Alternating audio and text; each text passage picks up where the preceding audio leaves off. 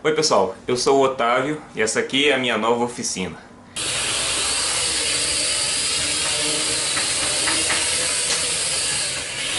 É, muita gente tem me cobrado, pô, cadê os vídeos da impressora ou do drone?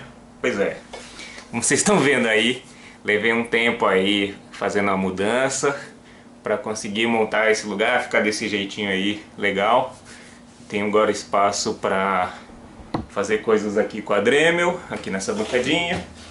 Então um espaço para o computador e para montar a impressora por aqui.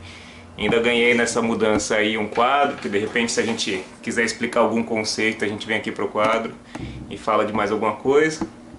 E tô com bastante mais espaço, tô com melhor iluminação, então acho que isso aí vai ajudar o canal melhorar e acho que vai ser legal para todo mundo.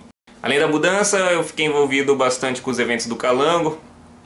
Então, alguns de vocês podem ter assistido aí o vídeo sobre o Open Data Day, ou Open Data Day, o Dia dos Dados Abertos, que a gente organizou aqui em Brasília.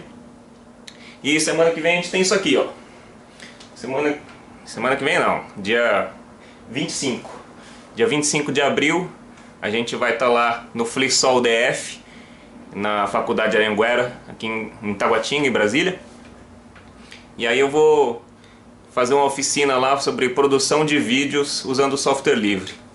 Né, muita gente que assiste meus vídeos fica curioso, né? E, e lá no final eu sempre coloco que foi produzido com software livre e falo dos programas que eu estou usando. Pois é, nessa oficina aí no FliSol eu vou mostrar um pouco mais de cada um desses softwares que a gente usa para fazer essas coisas todas que estão aí.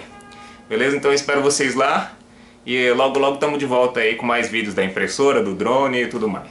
Beleza? Valeu, gente!